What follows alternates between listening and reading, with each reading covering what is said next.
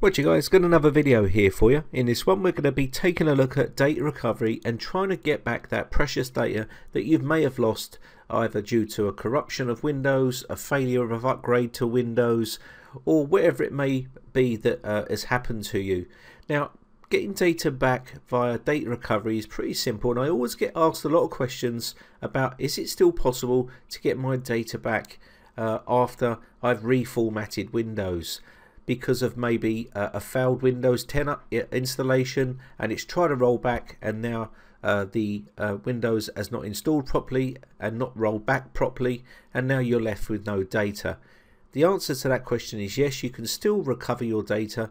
You want to recover your data as soon as possible.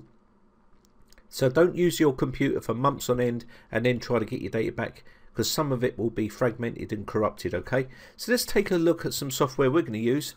We're going to be using the EaseUS uh, tool to recover uh, data here. Now this is a free trial. You can download the free trial here. Uh, I'm going to be using the pro version and we'll take a look at that in a second but the free trial will only allow you to recover up to 2 gigabytes okay? So bear that in mind guys. If you are going to be recovering more than 2 gigabytes you're going to need to purchase the full version okay? Um, needed Mac date recovery. They do a Mac version here. If you come down you'll see more information here. You can take more time to read this. Deleted file recovery raw uh, hard drive recovery partition recovery. You've seen me cover some of these before, uh, but I want to try to uh, cover this with different software so you can see what the options are. This does do a very good job at recovering data. Uh, it's pretty successful. I've used it quite a few times, but you can see here you've got all your information. Launch, scan, recover. That's their method uh, and what they're uh, putting up on the screen here. So you can see if you come through here, I'm going to do a, a comparison and this is what we're going to be using okay? Now again I can't stress enough that the trial version will only allow you to recover 2 gigabytes. So don't sit there for hours on end doing a, a scan and then realizing you can only recover 2 gigabytes. You might as well just pay for it. How much is your data worth to you? Well I can tell you right now that if you purchase this uh, this piece of software to recover your data I'm pretty sure it's all your data is worth more than 69 uh, 95. Now if you sent this to a data recovery specialist they will charge you hundreds if not thousands of dollars or pounds to recover your data. So let's take a look at this uh, software in action. So what we're going to do here is uh, we're going to download this. I'm going to start to download it. You can see it downloading in the bottom left hand corner. We'll go through step by step so you can see how easy it is. So this might be a bit of a long video but wait till this to finish its download. Once that's done you will be able to click on this and start to install and we'll go through the installation process as well. So what I'm going to do is close this background off here. Now we're going to install. Click on run say yes to the use account control. Now whether you're on a Windows 7 machine, Windows 10, Windows 8, it doesn't really matter. You can still use this software and you can still recover your data. So bear that in mind. You can choose your language here. There's loads of different languages. We're going to be selecting English. Click OK. Once you've done that, we're going to go next and accept their license terms. If you want to read through this you can. I'm going to click next and then you can see here now it's saying to prevent further data loss please don't install this product on the drive you want to recover data from.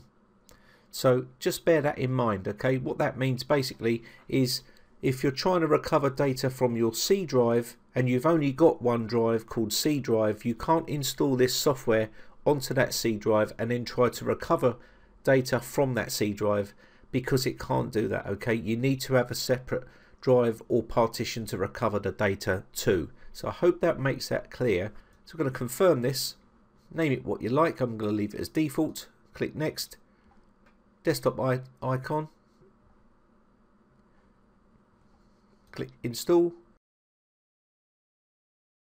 Okay, so now all we need to do is uh, launch our program. Click finish. And it takes you back to their page Okay, so now I've got a license key here, so I'm going to add this license key in, and you can see that up here by activate. So I've got my license key. I'm going to activate this now. It's now asking for my license key. I shall blur this part out so you can't see it. And you can see activation is now successful. So if you've purchased yours, that's exactly what you do. Download the trial and then activate it. Pretty easy to do.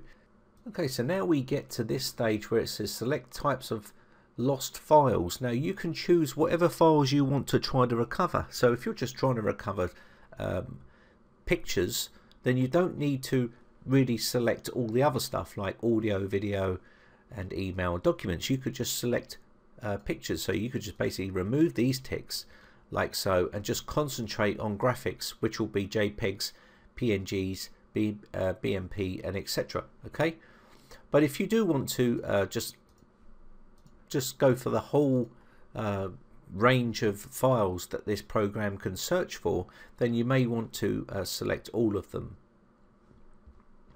Now up the top here, before we continue, you can see we've got feedback up here.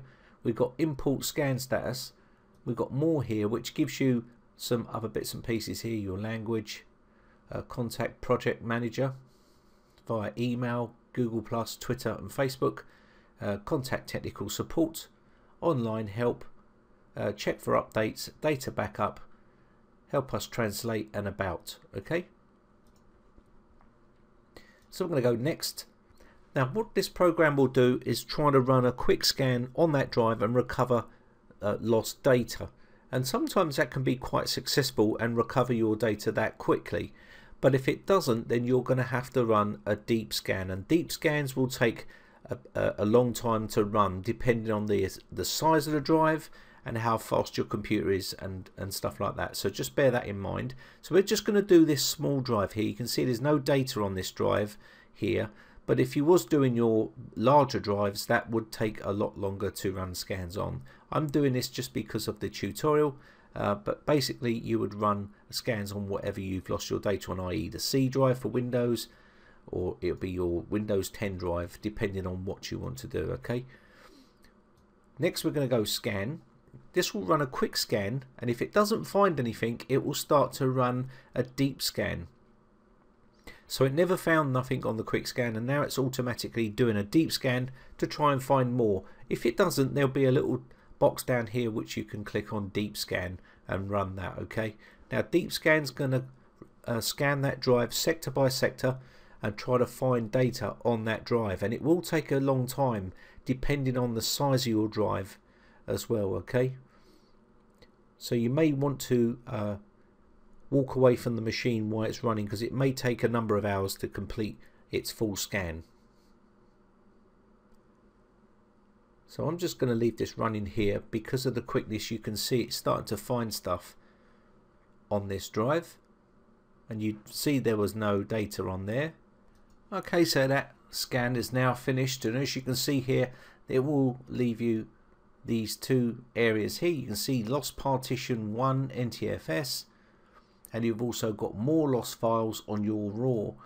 So if you click on these areas here you can come through here and you will find your data.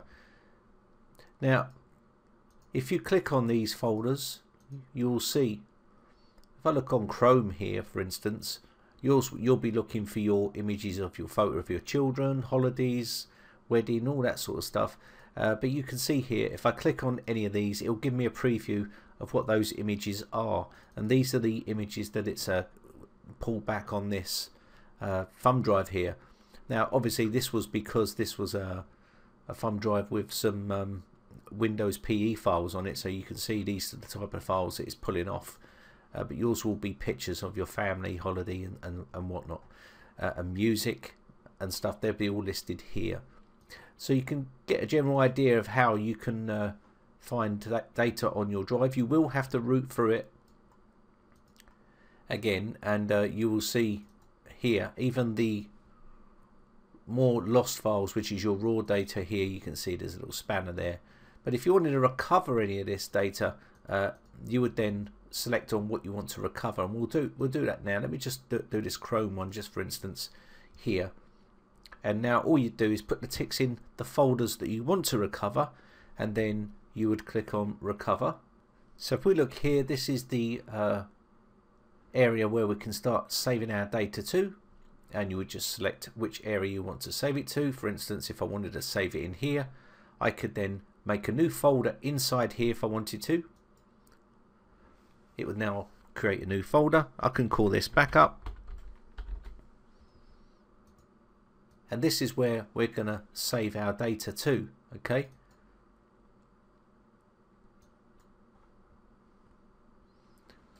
And there you see it there. It's opening up that location.